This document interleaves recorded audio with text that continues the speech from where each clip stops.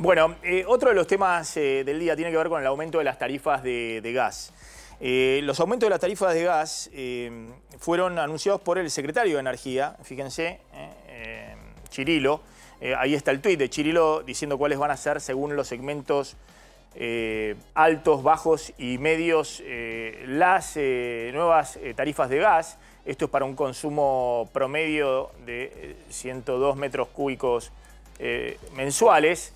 Eh, ahí para ingresos altos, eh, la tarifa promedio, esto es en el AMBA, sería 24 mil pesos. Eh, para ingresos bajos, la tarifa promedio sería de 15.800 pesos. Y para ingresos medios, la tarifa la, factura promedio sería de 23 mil pesos.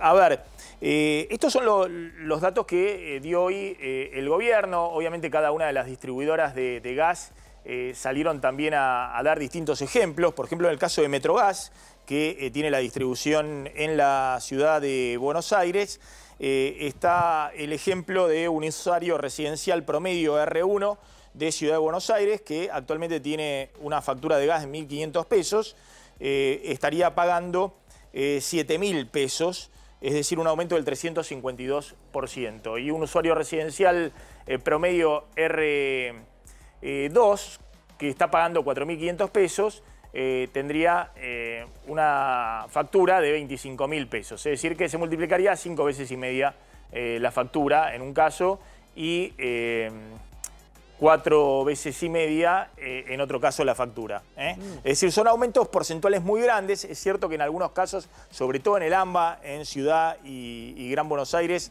eh, las tarifas de gas están muy atrasadas y también estaban los subsidios respecto a lo que es el resto del país, es decir, la factura es mucho menor.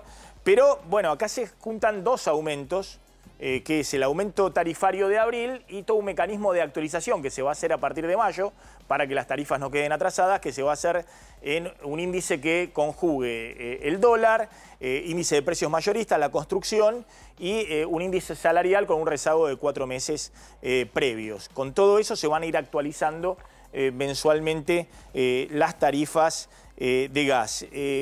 Eh, Juan, Julián Rojo, un economista de la Universidad eh, de Itela, eh, especialista en energía, mostraba también para el caso de un consumo R2 en Ciudad de Buenos Aires cómo sería la, progresión. A ver si podemos sacar ahí el graph. Se ve la, progresión de a dónde irían las tarifas según en este nivel de consumo, según sea de ingresos altos, medios o bajos. Es decir, hay una multiplicación de de la factura, eh, en algunos casos por 4, en otros casos por 5. En el caso de los usuarios eh, comerciales e industriales, eh, la multiplicación de la factura puede ser de hasta 6 veces, ¿no? en algunos casos de hasta 7 veces.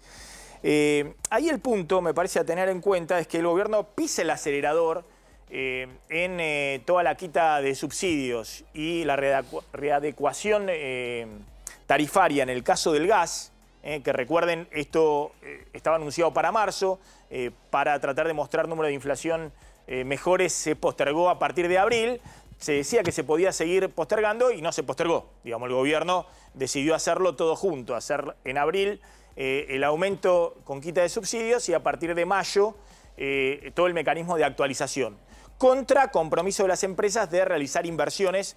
Eh, estamos hablando de las empresas del sector gasífero. Eh, esto es eh, la contracara de lo que está pasando con la recaudación tributaria. Hoy la FIP dio a conocer los datos de recaudación de marzo y efectivamente la recaudación viene muy mal, entre otras cosas por la caída del nivel de actividad.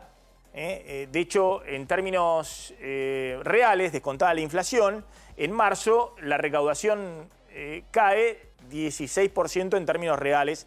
Este es el, gráfico del de IERAF, de Nadine Argarañaz, un especialista tributario que, hace muy buenos números con esto, y se ve que la recaudación está cayendo eh, en promedio 16% eh, en términos reales.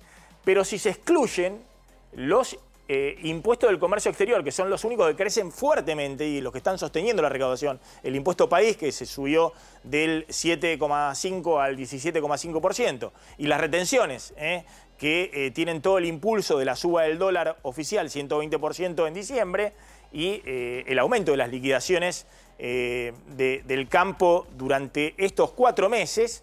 Bueno, si se le saca eso y se ve solamente impuestos internos, eh, IVA, ganancias, eh, combustibles, todos los impuestos internos, además que son coparticipables, bueno, hay una caída de 24% de la recaudación en términos reales. Eh, ganancias está cayendo 40%, por eso la desesperación del gobierno por apurar en el Congreso el tratamiento de la restitución del impuesto a las ganancias. en el caso de ingresos o aportes previsionales está cayendo también más de 20%. Eh, eh, mostrando los salarios muy atrasados respecto a, la inflación, más eh, alguna pérdida también de, empleo. Entonces, es una situación muy, pero muy compleja porque vos necesitas mostrar cuentas equilibradas desde el punto de vista fiscal, no solamente el superávit primario, sino equilibrio fiscal total, incluido intereses. Esa es la meta que se autoimpuso muy fuerte como ancla del programa económico Milei y Caputo. Y se te está cayendo la recaudación, entonces tenés que ajustar más. ¿Eh? Eh, tenés que apretar todavía más eh, el ajuste y pisar el acelerador por el lado del gasto. lo hicieron hasta ahora con la licuación a jubilados, eso tuvo un límite, después vamos a hablar de los jubilados a partir de abril. está el recorte total, prácticamente total de, de obra pública, de transferencias a provincias, pero ahora hay que avanzar una segunda etapa, por eso está este recorte de subsidios energéticos, que son dos puntos y medio del PBI, y eh, la discusión de qué se hace con los impuestos, si efectivamente va a haber una restitución o no del impuesto a las ganancias.